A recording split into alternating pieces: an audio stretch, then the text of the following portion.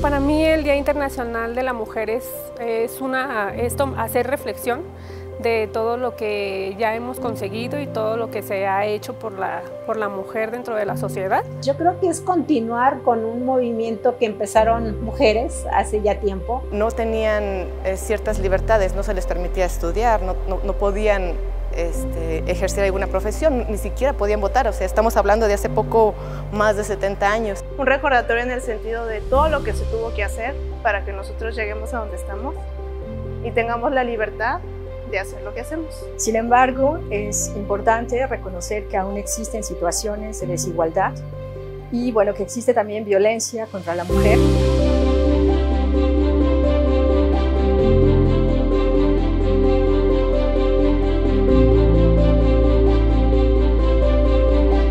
Crear conciencia de, de que somos mujeres y que aún hay brechas, que ya lo habíamos hablado, hay brechas entre hombres y mujeres y que es un día para recordar cómo acortar esas brechas para que la igualdad sea una realidad el día de mañana.